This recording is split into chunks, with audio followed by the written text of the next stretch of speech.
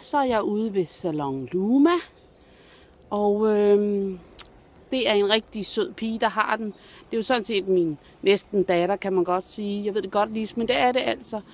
Og øh, nu skal vi ind og se, hvordan hun har det herinde, om hun har gang med noget. Må vi se. Uh, her man skal op ad en trappe. Så nu ser vi lige, om der er åben. Så. Og det, hun er i gang med noget, men nu åbner vi bare. Hej. Og hun var her, Sørme.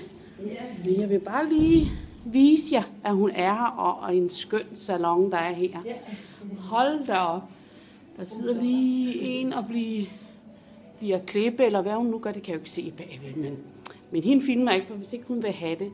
Men øh, Charlotte, må jeg lige tage et billede, sådan en film af dig? Ja, ja. Se lige. Det er altså rigtig godt. Ja, hun Hej. er skøn ja, og det var så min næsten datter.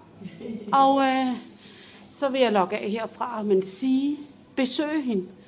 Det ser skønt ud, og hun er altså dejlig, ikke også? Så øh, ja, kom bare herud, og jeg skal nok øh, lige øh, dele hendes side på min side. Så ha' det godt. Hej.